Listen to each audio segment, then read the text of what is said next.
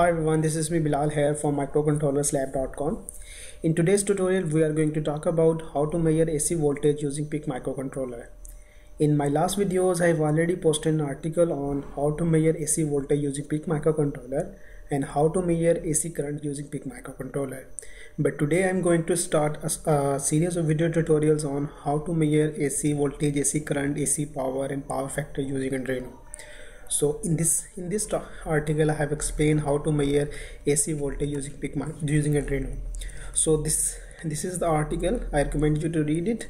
In this video I will show the simulation of this project and let's go to the simulation. Uh, here you can see as you can know, Arduino can measure voltage in the range of 0 to 5 volt only.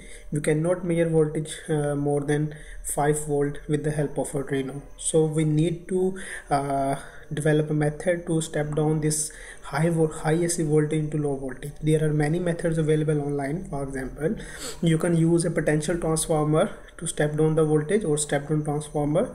You can use a voltage divider, but both these uh, has own disadvantages. For example, if you use a potential transformer. Potential transformer is uh, is not suitable for uh, inexpensive applications or it uh, for example if you are designing a product and uh, cost is your um, main constraint then you cannot use a potential transformer.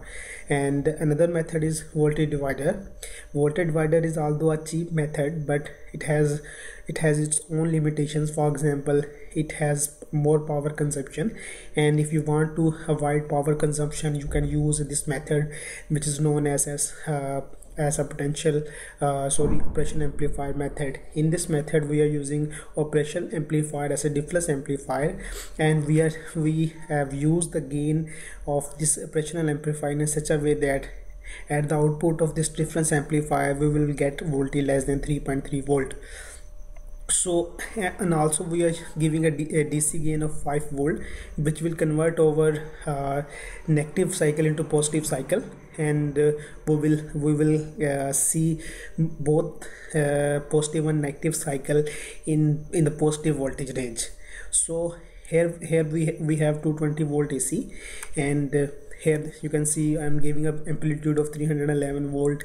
And uh, frequency is 50 hertz and 311 basically has a peak of 221 or 222 AC voltages. So let's run the simulation and check it. And we have interfaced LCD to display the values of voltage and current when you click on the simulation here you can see we are getting voltages of 221 and 222 but if you uh, take the averages of for example 100 values and display them on LCD you will get a stable value on LCD here I am just using uh, serial monitor to display to display the value of voltages also. And here you can see uh, we uh, here's uh, this uh, basically a virtual oscilloscope in Proteus. And uh, here here is the output of uh, uh, our uh, difference amplifier. And this is the this is the output of our difference amplifier. As you can see voltage peak is 3.90 volt.